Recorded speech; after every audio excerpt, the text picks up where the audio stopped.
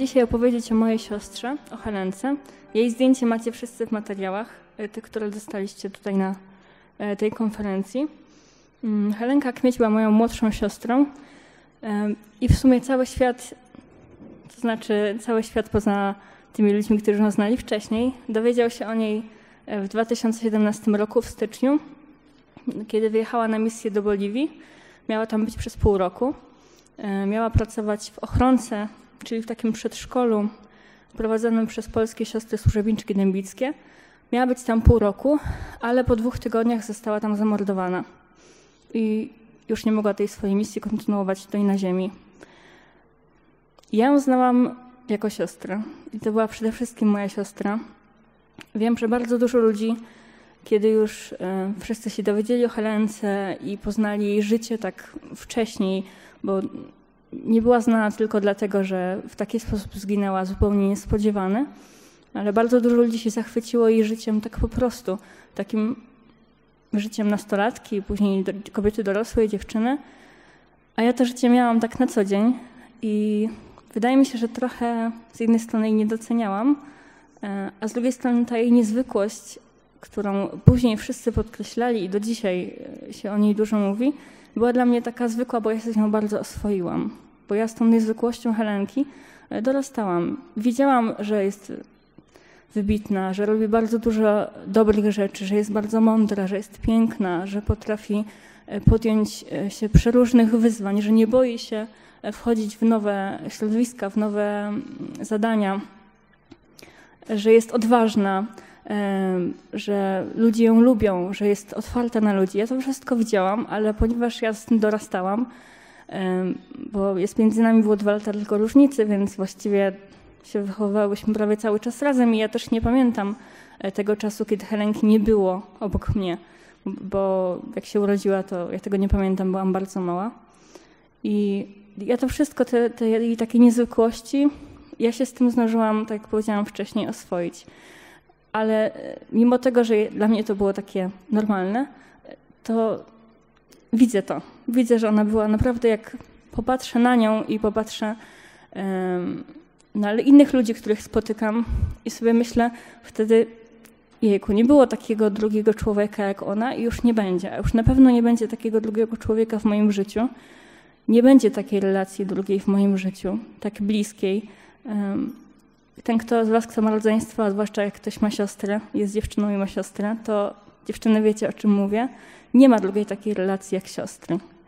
E, I tego się nie da niczym zastąpić, tego nie można na nowo stworzyć, chyba że ktoś z kogoś zna bardzo długo, ale e, ja z Helenką dorastałam i łączyło nas poza po prostu więzami krwi e, mnóstwo doświadczeń, mnóstwo przeżyć, mnóstwo obejrzanych razem filmów, mnóstwo zaśpiewanych razem piosenek, mnóstwo zajęć, na które chodziłyśmy razem. Nas też łączyła na początku właśnie wspólnota, ruch Światło Życie, o której ksiądz biskup wcześniej wspomniał. Potem muzyka, szkoła muzyczna, potem jakieś dodatkowe zajęcia. Też chodziłyśmy razem do jednej szkoły i właściwie jakbym miała teraz pomyśleć o swoim dzieciństwie i o swojej takiej młodości, nastoletniości, to zawsze była Helenka obok mnie, ale to nie znaczy, że ona była taka absorbująca bardzo że za bardzo. Nie, ja miałam poczucie takiej e, wolności, swobody też w jej obecności.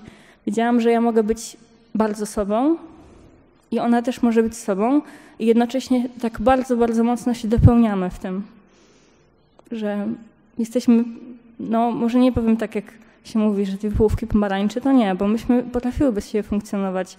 E, potrafiłyśmy razem, każda wchodzić w swoje środowisko E, później już jak pojechałyśmy na studia obie, albo wcześniej jak Helenka pojechała do szkoły do Anglii, bo dostała takie stypendium, to ona świetnie odnalazła tam.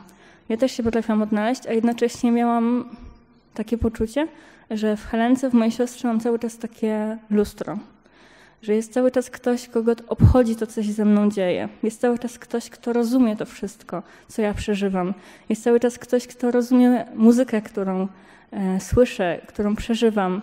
E, jest cały czas ktoś, kto, kiedy mówię mu o Panu Bogu, kiedy mówię o swojej relacji, takiej najważniejszej, przynajmniej która powinna być najważniejsza w moim życiu, to Helenka zawsze była taką osobą, która to rozumiała. Nie musiałam jej takich rzeczy tłumaczyć. Bo różnych ludzi się spotyka w życiu i dla kogoś może być Pan Bóg najważniejszy, a dla kogoś w ogóle nie.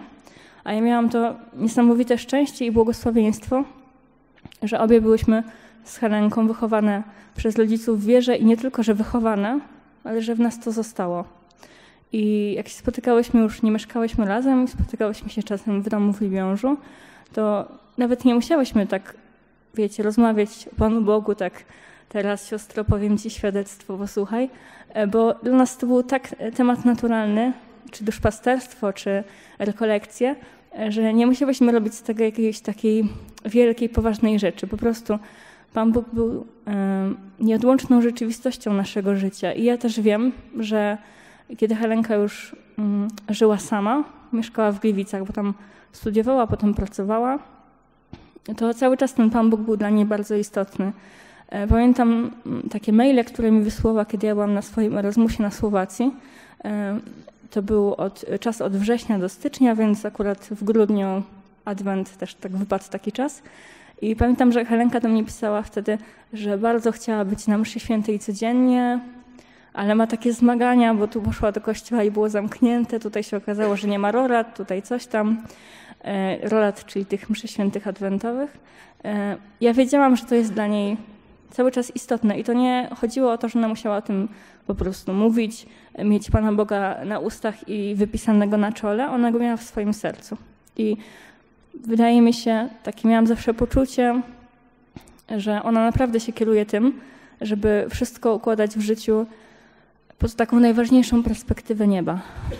Dlatego też jak Helenka zginęła, to też dowiedzieliśmy się potem już od, od Anity, od koleżanki Helenki, która e, tam z nią była w Boliwii, że Helenka jeszcze do niej przyszła wieczorem w dzień poprzedzający jej śmierć i pożyczyła od niej Pismo Święte, żeby przeczytać po hiszpańsku, bo chciała się pomodlić, a jednocześnie trochę poćwiczyć hiszpański, ponieważ ona tego języka jakoś super nie znała jeszcze, a to były początki jej pracy w Boliwii, no i chciała tak się też trochę douczyć.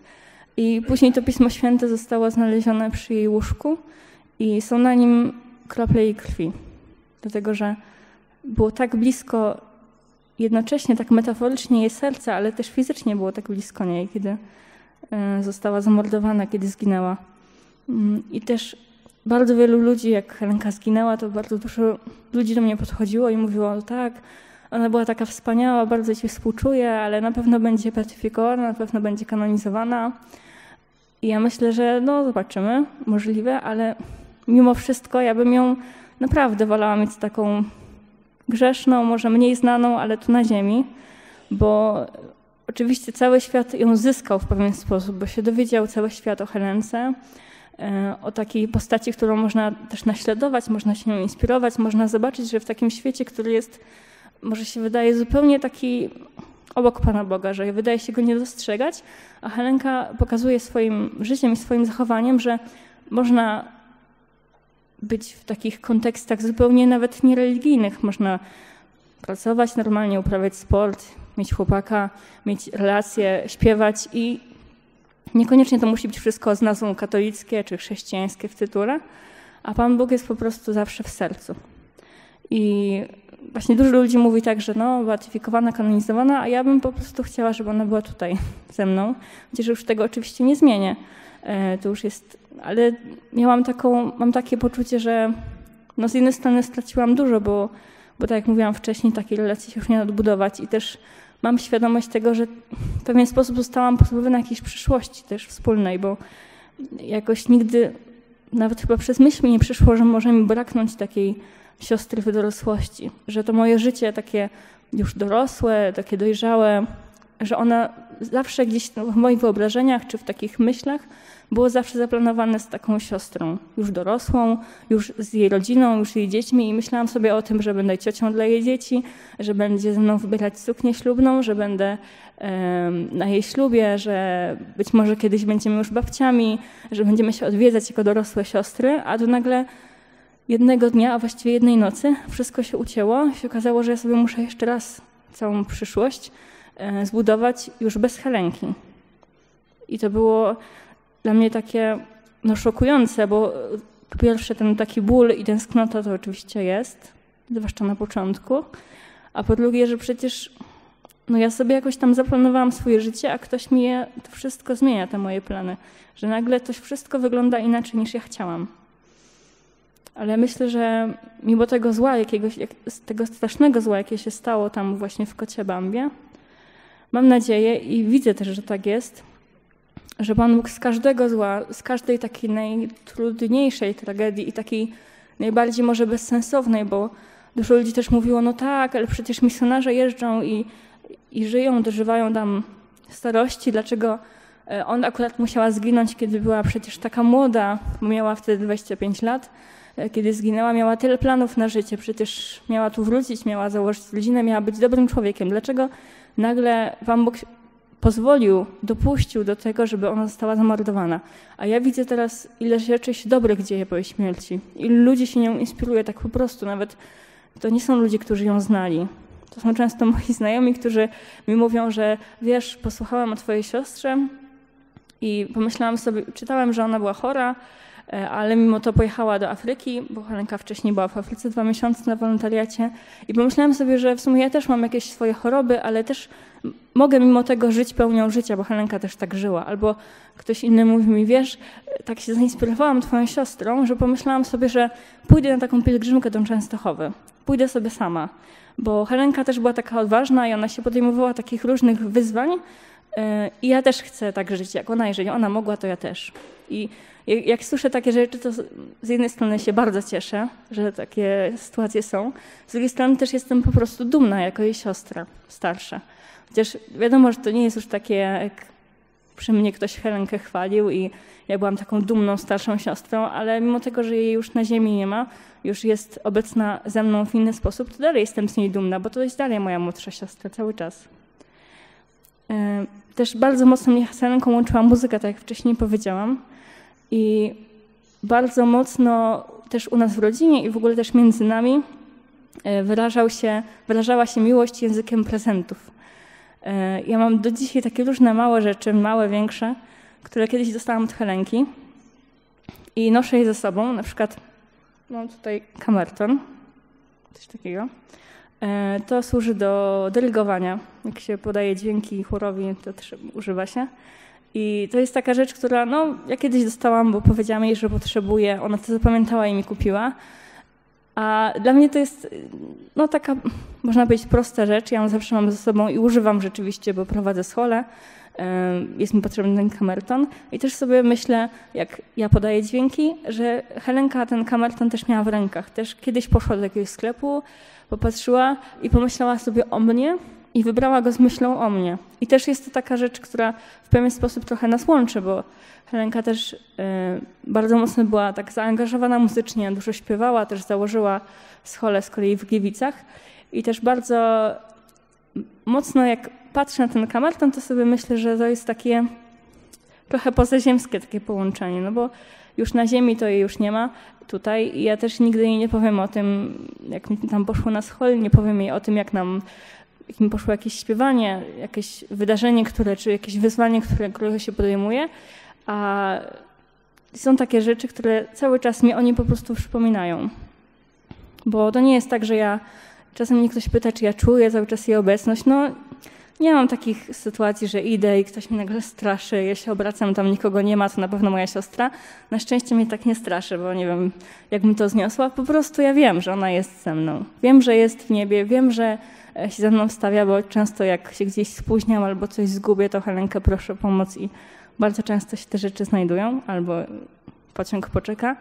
To się często zdarza, więc wiem, że mimo tego, że ja już jej nie usłyszę, że już ona mnie nigdy nie przytuli, że nie zadzwoni nigdy pod ten numer, który mam wpisany w telefonie, bo go nie wykasowałam, że nie dostanę nigdy maila, że nigdy nie zaśpiewamy razem, to mimo to wiem, że to, co mogła mi dać w ciągu swojego życia, to mi dała, a to, jak mogła ze mną zostać, to też została.